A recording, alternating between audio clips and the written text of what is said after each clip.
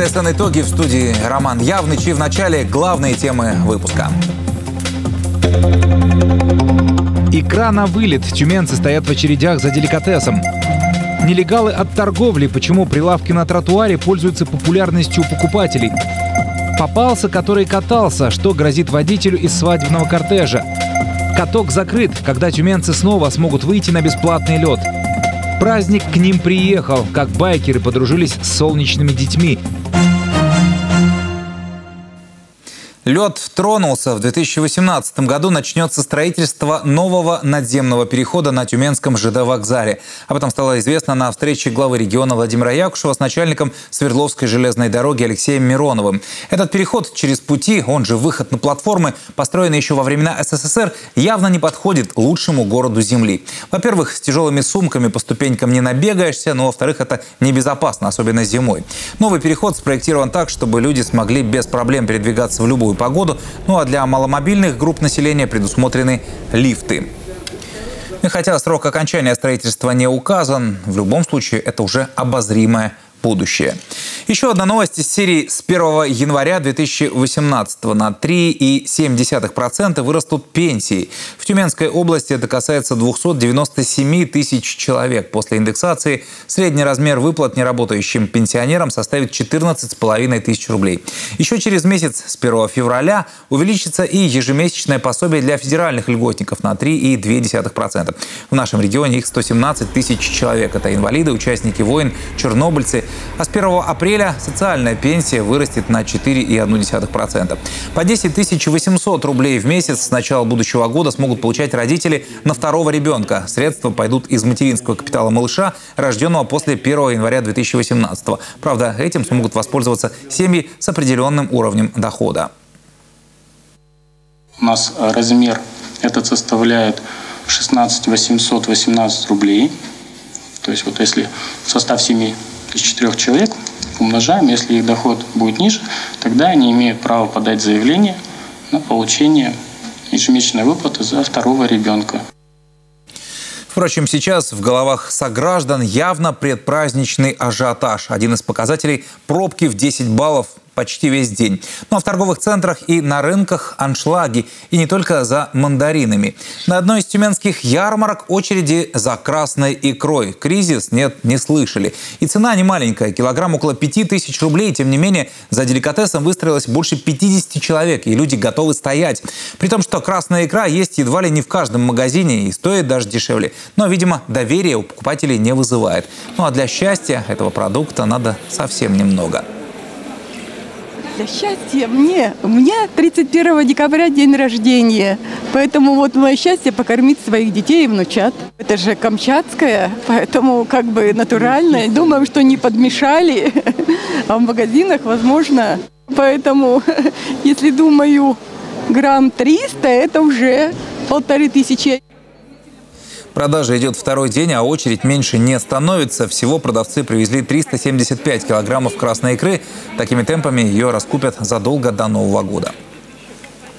Новый год берут на подарки, организации берут своим работникам на подарки, а, родителям берут на подарки, мамочкам, папочкам, чевычу берут на подарки, икру, сами на стол. Богатый стол, богатый год. Интересно, что очереди не только в официальных местах торговли. Стихийные рынки, с которыми безуспешно борются городские власти, в предновогодние дни тоже пользуются популярностью.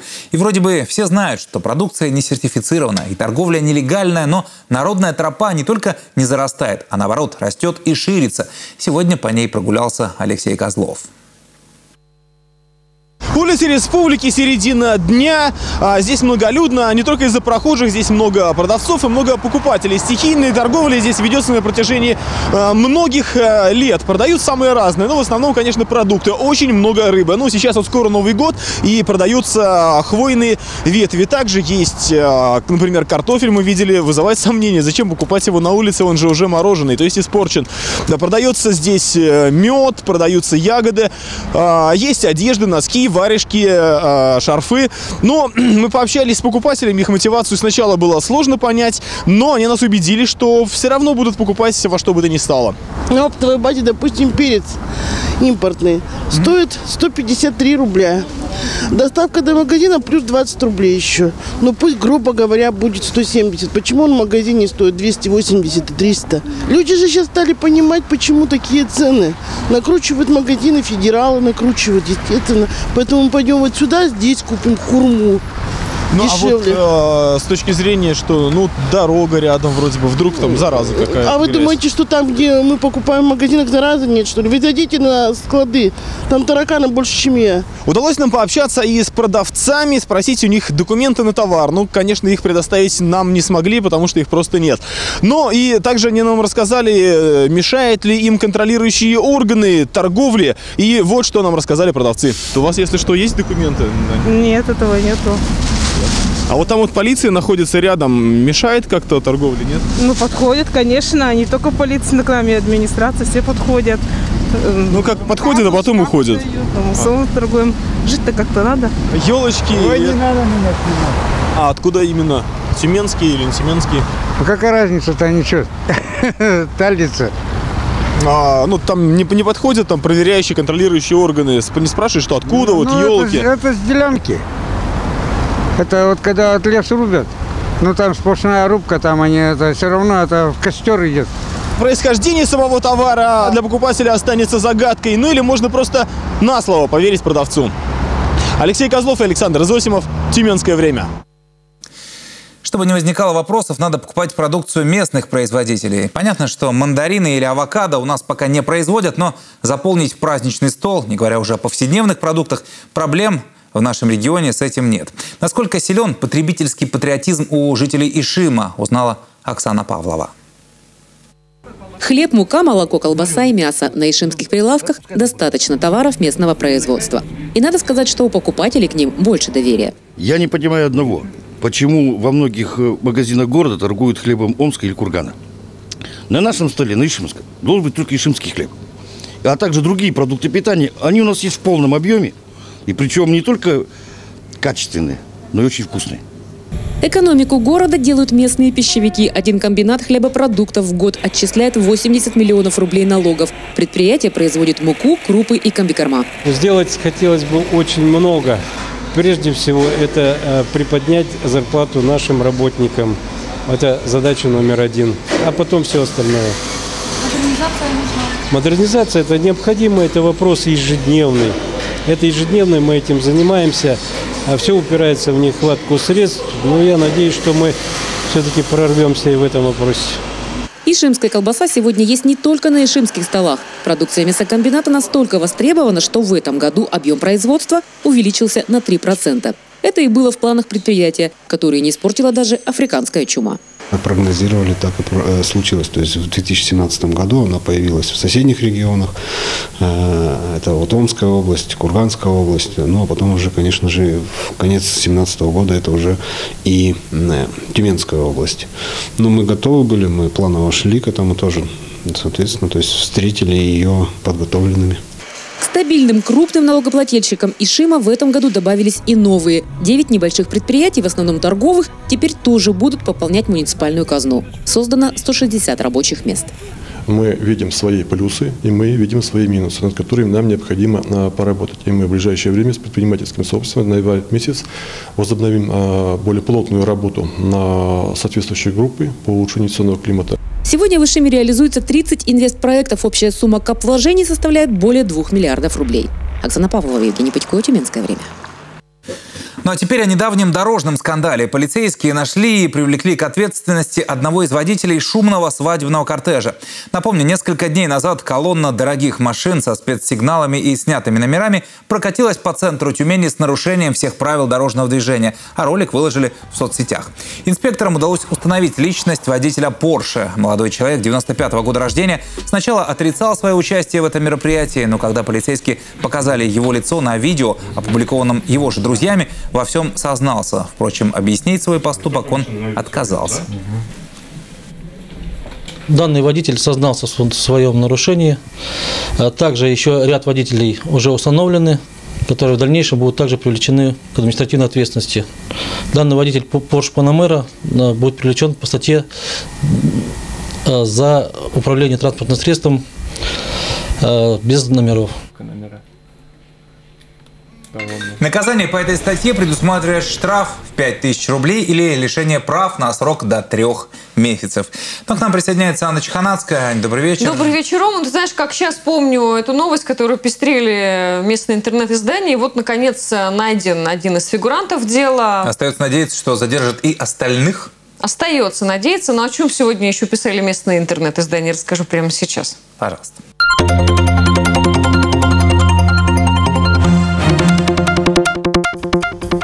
Тюменская линия пишет о том, что администрация Тобольска заплатит 250 тысяч рублей за моральный вред женщине, которая травмировала ногу в яме. Инцидент произошел еще в сентябре 2016 года. Пенсионерка из Тюмени приехала в Тобольск к сестре. В третьем Б микрорайоне, где живет родственница, не работало уличное освещение. Проходя по тротуару, женщина угодила в яму ногой и тяжело травмировала ее. Дважды пенсионерка переносила операцию пять месяцев, передвигалась на костылях.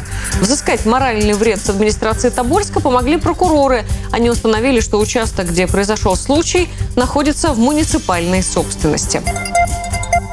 Мои коллеги из Тюменской службы новостей сообщают, что скульптор Николай Распопов отмечает сегодня юбилей. Ему 85. Заслуженный художник России, почетный гражданин города, создал бесчисленное множество работ.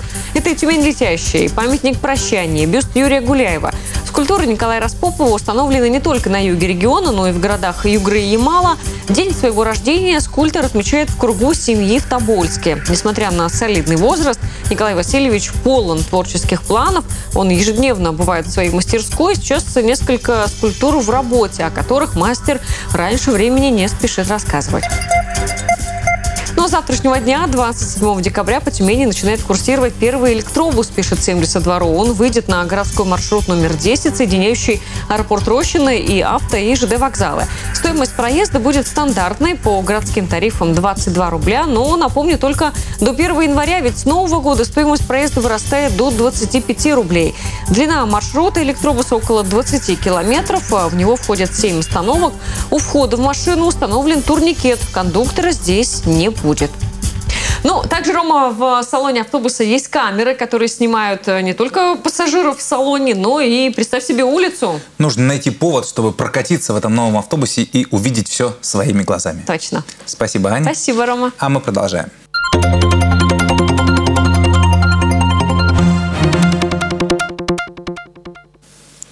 Самая востребованная профессия 2017 года – штукатур. А вы все еще думаете, в какой вуз отдать своего ребенка? Цифры – вещь упрямая, и статистика Центра занятости далеко не всегда вяжется с нашими представлениями о рынке труда. Есть ли на нем место профессиям будущего? Узнаем у директора Департамента труда и занятости населения Тюменской области, гость программы Надежда Мазуркевич.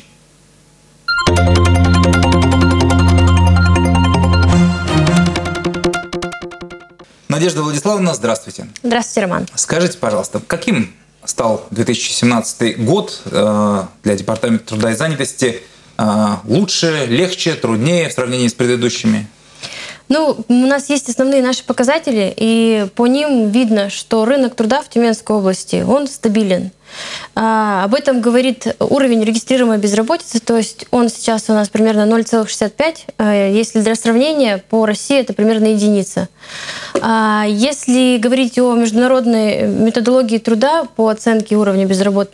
безработицы, то он у нас тоже также по сравнению с предыдущим годом сократился, то есть в том году это было 5%, в этом году это 4,8%. То есть это ну, как бы Угу. Мы тоже на спад пошли, и то есть, ну, достаточно хороший, хороший уровень. То есть жить стало лучше, жить стало веселее? Да, жить стало лучше, жить стало веселее, но мы себе ставим задачу э, и ежегодно в 19, 20, 18 годах мы себе еще немножко эту планку снижаем для того, чтобы ну, как бы мы же должны каждый год какие-то...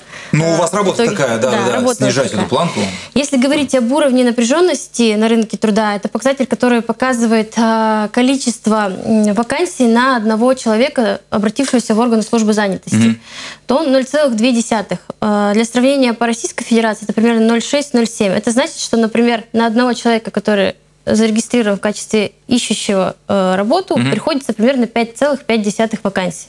Пять с половиной вакансий да. получается. Да, ага. то есть это тоже достаточно большой такой показатель. Ну, вроде который... как выбор есть. Вы знаете, в обществе есть такой э, определенный элемент скептицизма вот, в отношении э, Департамента труда и занятости. Ну, вот, мол, рисует себе какие-то там вакансии, да, а насколько вот они востребованы именно у ищущих работы. Ну, что они какие-то смешные вакансии за зарплаты там в 10-15 тысяч, кому они вроде как нужны? Нет, ну, во-первых, начнем с того, что те вакансии, которые заявляются органы службы занятости, они, ну, проходят обязательную проверку с, то, с точки зрения соответствия требований законодательства. То есть они, в принципе, не могут быть меньше величины прожиточного минимума на территории Тюменской области. Ну, это понятно, да. Это, это во-первых.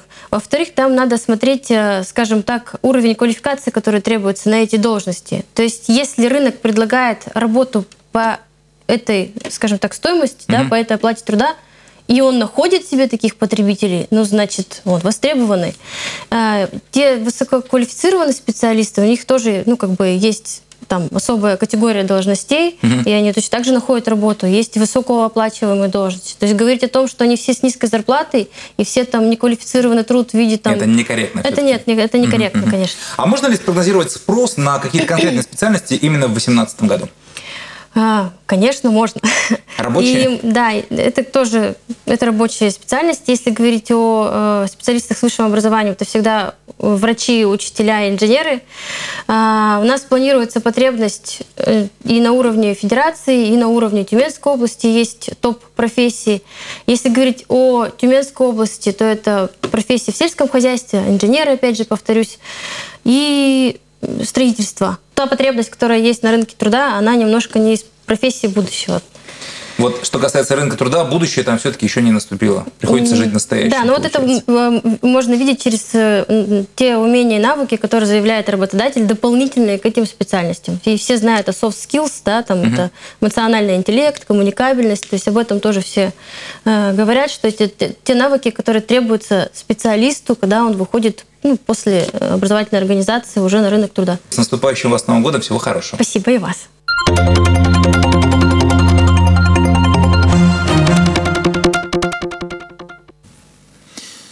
Все новости ТСН, включая выпуски нашей программы, доступны на YouTube и в группах «Тюменское время» в соцсетях, в Фейсбуке, ВКонтакте и в Одноклассниках. Вернемся в студию после блока новостей из районов области.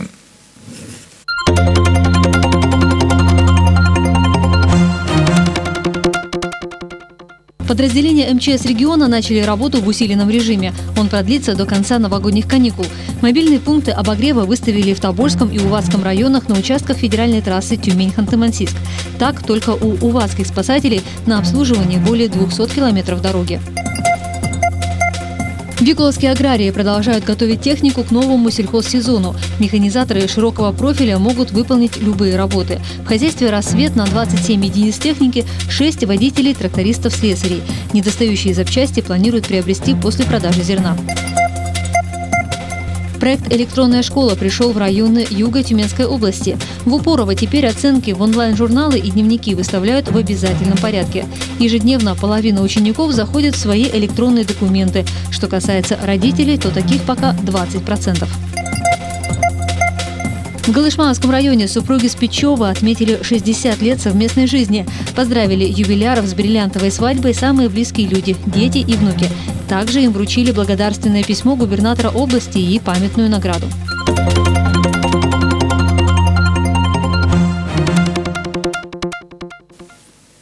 И все-таки будущее потихоньку подкрадывается к нам, например, в виде госуслуг онлайн. И если в городах и учителя, и ученики, и родители уже привыкли к проекту «Электронная школа», то в сельской местности его только еще осваивают. Как это происходит в Упорово, расскажет Инна Михайловская. Напоминание в дневнике. По старинке. Ученики Упоровской школы на смене эпох. Вместо бумажных занимают электронные носители. Дневники через интернет – дело уже привычное. Просто родители теперь могут онлайн наблюдать за нашими оценками и могут просто подойти посреди, можно сказать, посреди дня и спросить, почему там так получил, почему так, а раньше такого нельзя было сделать, так как доступа к оценкам не было ученика. Только через дневник получается. Ольга Гумер, мама пятиклассника, одна из первых включила включилась в проект. Удобно. Ребенок заболел, домашнее задание в электронном дневнике. И, конечно, первый узнает об успехах сына. Приходит, и я ему говорю, получил 4. По какому предмету? Иногда вот такие у него моменты бывают. То есть он не знает еще или не помнит, или еще там что-то мне говорит. Ты, мама, откуда знаешь? Мама знает уже. И учителя перестраиваются. Теперь они выполняют двойную работу. Ведут не только электронный, но и бумажный журнал. На всякий случай. Электронный журнал, он намного мобильнее и удобнее, потому что на уроке эта информация сразу же уже фиксируется. Мы уже привыкли к клавиатуре компьютерной, к, это, к всему быстрее работаем, чем мы пишем ручкой. Честно говоря, это так и происходит. Родители имеют доступ только к данным своего ребенка, учителя – своего класса. А вот Марина Григорьева, администратор электронной школы, может зайти хоть куда. Вот только защитить от взломщиков сможет едва ли. Наверное, если очень-очень продвинутый хакер, то он может поправить что-то сделать. Но если ребенок настолько умный, я не думаю, что ему будет необходимость э, исправлять оценки. То есть, если он сам это может сделать, взломать, значит, у него голова работает, и он может заработать эти оценки сам. По данным на декабрь, ежедневно половина учеников этой школы заходит в свои электронные дневники. Но что касается родителей, их значительно меньше, всего 20%. Они предпочитают все-таки традиционные бумажные носители. Вопрос прежде всего к качеству связи. В райцентре интернет достаточно быстрый, чего не скажешь о некоторых деревнях. Родителям просто нужно время, чтобы привыкнуть к виртуальному контролю. Инна Михайловская, Сергей Жернаков. Тюменское время. Все там? Впрочем, сейчас у школьников наверняка все мысли о каникулах и обо всем, что с ними связано, в том числе и об активном отдыхе. В Тюмени в этом году, кроме катков во дворах, залили несколько крупных площадок, но некоторые из них не выдержали и пары дней. К примеру, в сквере Комсомольский его вновь откроют для катания четверг. Сейчас там идут восстановительные работы. За выходные на бесплатной площадке побывали около 4 тысяч человек, после чего многие стали жаловаться на многочисленные выбоины и ямы. Некоторые даже получили травмы. Впрочем, организаторы катка обвиняют в этом самих отдыхающих. Нужно формировать в городе культуру массового катания пока нам еще вообще далеко до Москвы. Все говорят, Москва, Москва, посмотрите, как там клево, но лучше начать именно с себя. То есть не курить, не сорить, не, не бить лед, там, не ломать, в санках не ездить, в обуви не ходить. То есть элементарные вещи. В свою очередь, организаторы готовы перекрыть часть входов, но и планируют ввести технические перерывы для оперативного ремонта покрытия. Восстановительные работы ведутся и на катке на набережной. В этом году здесь залили не одну, а сразу две ледовые площадки. И вторая не выдержала нагрузки уже в день открытия, в минувшую субботу. Сейчас также до пятницы в целях безопасности закрыты оба катка. Каток закрыт по э, двум причинам. Первая причина, э, значит, это резкое понижение э, температуры. Образовались трещины, и на открытии катка, конечно же, было очень много людей. То есть сверхнормативная нагрузка. Мы не ожидали. Каток у нас 2500 квадратных метров. Вообще, по, по сути, мы можем принять 600 человек. Было больше тысячи людей. Очень хочется, чтобы работу над ошибками сделали все, и организаторы, и отдыхающие. Нынешняя зима благоволит к активному отдыху. Ну и в завершение о необычном утреннике. Родители детей с синдромом Дауна устроили новогоднюю вечеринку в нетрадиционном стиле. Пригласили в гости байкеров. Как прошел праздник, увидела Лариса Соловьева. У Полины с утра сложный день, и платье не налезает, и туфли жмут. У маленькой дамы сегодня бал. Но Золушка в этой истории мама. Третий утренник, впереди еще два. Домашние дела никто не отменял, да и в сказке Анастасия совмещает две роли, еще и фея крестная. Сложно, особенно если праздник тематический то нужно подбирать и, конечно, наряд какой-то соответствующий. Ну, и это приятные хлопоты. Все-таки девочку наряжать это миленько. Наконец все мыши превратились в коней, тыква в карету, к балу готовы. Ну вот это мой когда-то был кормилец. Дед Мороз на празднике с высшим профессиональным образованием. Игорь еще студентом театрального вуза подрабатывал зимним волшебством. С тех пор он давненько не брал бороду в руки. Но секрет успеха не в ежегодной практике. Для Деда Мороза главное понимать четко задачу, что он несет добро. А если есть этот посыл внутри, то и дети вас услышат. Сегодня здесь он не ради денег. И все снова, как в сказке. Родители солнечных детей позвали на праздник байкеров. Байкеры позвали своего друга. Друг привел с собой Снегурочку. В этой компании она известна как Аннушка. Но и вечеринка в особом стиле. С непривычной внучкой и завязкой. У нас Снегурочка тоже по сценарию убежала от Дедушки Мороза с байкерами. И на праздник прибыла раньше деда. И вот она нарядная, на праздник к ним пришла. Впрочем, родители и дети тоже подготовились. Поля показывает всем. Поля молодец. Танцевать как панк Поля не училась, но позы для фото с мамой отрабатывала. Как надо фотографировать? Скажи, вот так.